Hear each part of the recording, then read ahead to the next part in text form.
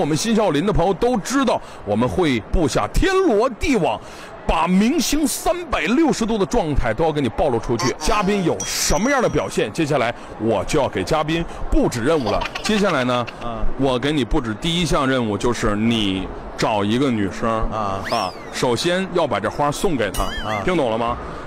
不管用什么方式，要把这花送给她，让她拿着，拿着了以后，让她给你一个拥抱。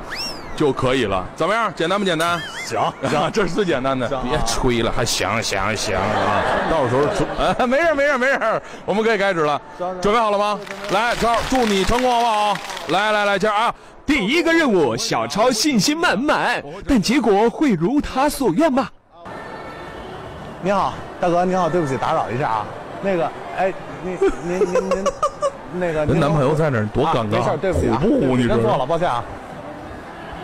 哎，小姐您好，我能送您一枝花吗？不是没没关系，不要钱的，真不要钱，小姐，不是真没事您拿着就行。送。哎，大姐您好，我能送您一枝花吗？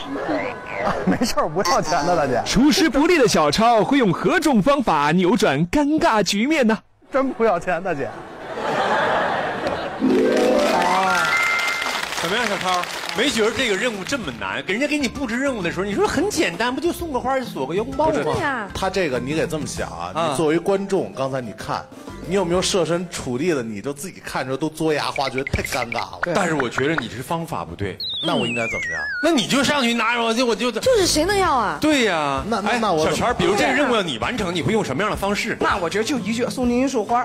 啊，就是就是呃，显得真诚一点儿就就行，我觉得，真诚一点。刚才他那老师，咱观众朋友有没有什么好主意？哪位朋友来？这位，哎，就你小伙子，对，嗯，大家好，我是阿俊。啊，我觉得如果遇到这种问题的话，我会就是用真诚去感动那个女孩子，就是先拦住她，然后对她说：“我观察你有一段时间。”我观察你有一段时间了。真的是台湾偶像剧，而且真的，阿俊，你看，就是那个状态，就是我观察你好一定会拦住他，那个手是真的有范儿的。然后，然后接下来怎么说？然后我今天有幸送你一枝花吗？哇！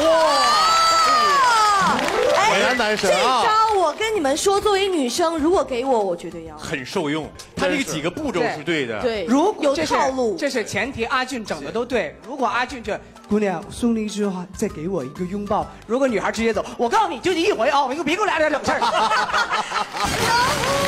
马上就是东北话。对。